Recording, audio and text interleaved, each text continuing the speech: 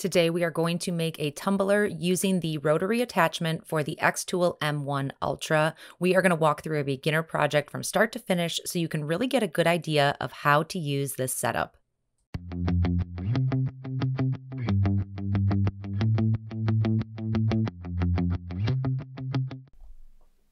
The M1 Ultra is an all-in-one DIY tool and what we have set up here is the laser. It is on its riser base, and you need this base in order to use the rotary attachment. If I pull down the front here, there is nothing inside of here. If you are engraving something very small in diameter, you can add a honeycomb base to kind of bring your base up, but we're gonna work with it just as is. On the inside here, I do have the laser module already set up. This is the 10 watt laser module. So just keep in mind that my settings may be a little bit different if you are using the 20 watt.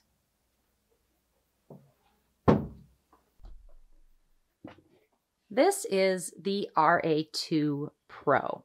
This is the standard rotary attachment for all Xtool machines. So when you get this, it's going to come with instructions on how to set this up for various machines. Right now I have it set up with the chuck. The chuck works by holding tumblers like this inside of your machine. There are also rollers that go on here. These rollers would, the chuck would come off and these would sit kind of right here and they would just hold your tumbler or any cylindrical item. The other thing that comes with it is this little end piece here that kind of acts as a leveler. So if you have your tumbler in here, this can kind of level the other end for you.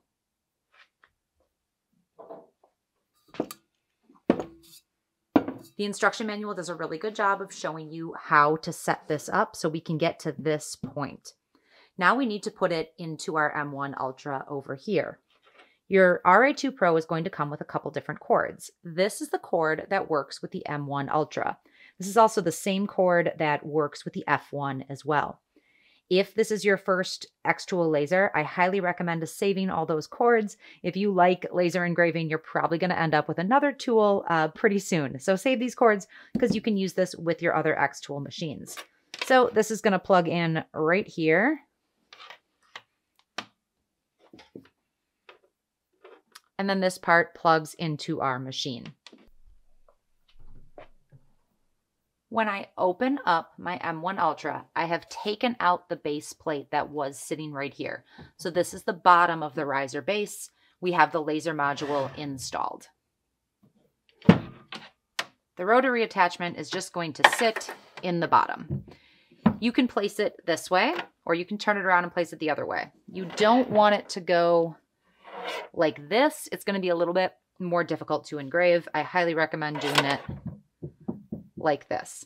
The plug for this piece right here is right here. It's right inside of the machine. There's a little silicone piece that's covering it, but it's right inside. It does not have to plug into the back of the machine. It just plugs right in here. So that is all plugged in. That is set up. Now we can put a tumbler in here. We're going to engrave on this tumbler right here. And this is a tapered piece. Typically when you have a tapered piece, if you want to do the whole thing, it has to be done in parts because the focus of the laser is going to be different for here than it is for here. So what we're going to do is start with something a little bit simple. We're just going to do this top part right here. So before we put it in the machine, we need to take some measurements. Your RA2 Pro is going to come with a tape measure. And my Xtool Creative Space is set to inches, so I am going to measure this in inches. You can use inches or millimeters. But what we're measuring right here is the perimeter. And I'm at about 12 and a quarter. So 12 and a quarter I need to write down. The other thing I want to write down is the measurement of right where the powder coating starts and right where the taper starts.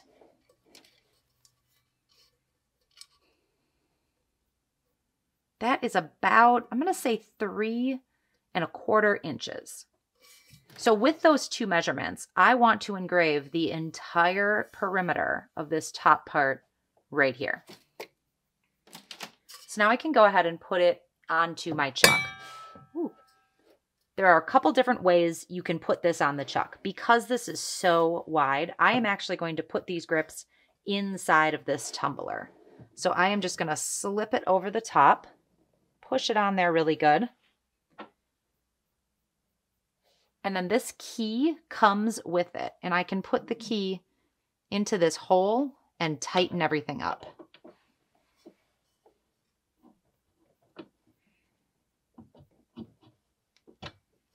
Take your time with this and really make sure that all of the little silicone pieces over on this end are even. What we ultimately want, we have this little measuring piece that also comes with your RA2 Pro. We ultimately want it to be level. It's definitely not right now. I've got a little bit more work to do, but we want this to be level. And then I'm going to turn it a little bit and make sure it's still level. So I've got to play around with this until I get a fully level surface right here.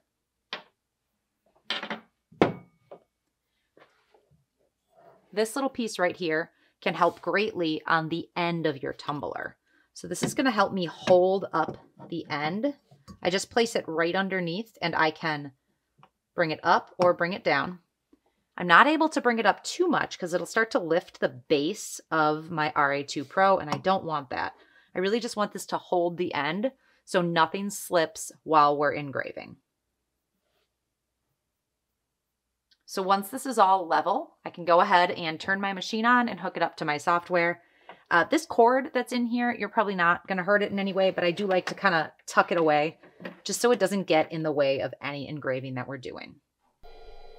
Now that the machine is on and connected, I can move my laser over and I'm going to get the red crosshair right here. And I'm going to use this for lining things up. So I'm going to move everything around here so we can get that crosshair right between the silver and the coated part. And I'm just going to spin this and make sure mm-hmm. it stays level and on that purple part the entire way around. All right, move that down just a tad. Now let's go over to the software. Here we are in Xtool Creative Space.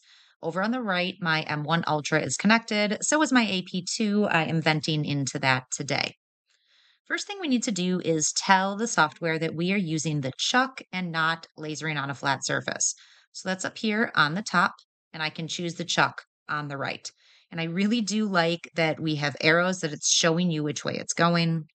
You can also pick the rollers if you're using it that way, but we are doing the chuck. So our screen changes a little bit. So these red crosshairs indicate where they are on the tumbler right now. So over here on the right hand of the screen, that is the bottom of my water bottle. And on the left hand of the screen, that is the top of my water bottle. So now we're going to enter the perimeter. And we said that was 12 and a quarter inches. Now I'm going to auto measure. The way that we are doing this here, we do not need to mark anything. I do want to lay out my design a little bit. So I'm just going to draw a rectangle, unlock the aspect ratio, and the width is going to be the height of the measurement that I took. So this is where I want to engrave my water bottle and the height is going to be the 12 and a quarter. That is the full wrap. So essentially, we have over here on the left the top of the water bottle, on the right is the bottom of the water bottle, and this long rectangle here is going to be the full wrap. So I'm going to place this rectangle right by the crosshairs here. So everything inside of this will be engraved. Now I'm going to bring in a design. Actually, before I do that, something really important. Over here, we're going to turn off the output of the rectangle because we don't want to engrave the rectangle.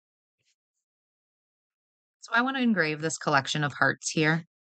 The first thing I'm going to do is make it a compound vector to bring it all together.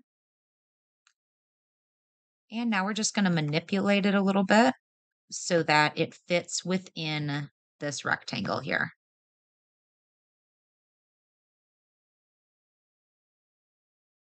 So I'm happy with how that looks. Now let's pick our settings. I always recommend testing something first. I am going to choose just a pink stainless steel tumbler. I have tested a lot of tumblers and I have found that typically the standard settings work, but make sure you have a couple pieces to test on. So we are going to use the standard settings here of 50% power, 150 speed, and 200 lines per centimeter and everything is set to engrave. The next thing we want to do is frame. And usually, when I do a tumbler, I frame a couple of times because I really want to make sure that we are engraving exactly where we want to. So let's go ahead and hit frame.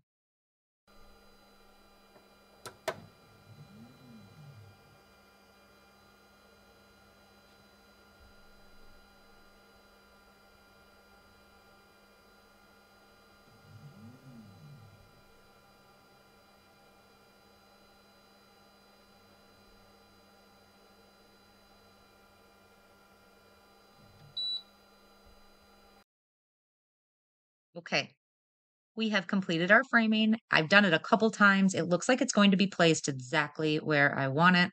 So now I am ready to process.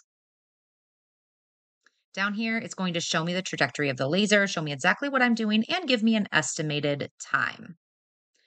37 minutes, not too bad for this here. I kind of like watching the trajectory of the laser just to see what it's doing. And once I'm happy with that, we can go ahead and hit start.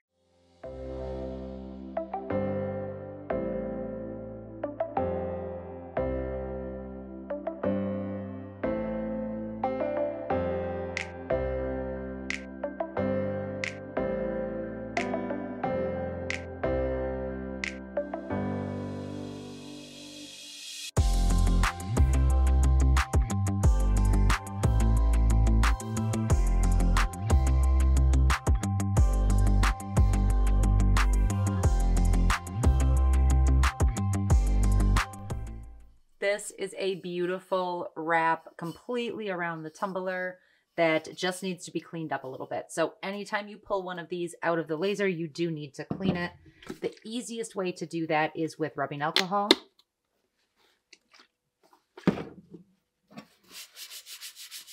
And you're going to take out any soot. You can see I got a good amount of soot on there. And just scrub it clean. If this doesn't take everything off, your next step would be taking it to just wash it under soap and water with a scrubby sponge. You can also use a magic eraser. You don't want to use chemicals that are too harsh because you can actually take away the coating on here. Usually rubbing alcohol and soap and water work really well for me. Engraving tumblers like this with your M1 Ultra is really a straightforward process. Once you get that RA2 Pro hooked up, you're going to be doing these in no time. For more laser videos, be sure to hit that subscribe button. I am here every week with new videos to help you move forward in your laser journey. Thank you so much for watching. We'll see you next time.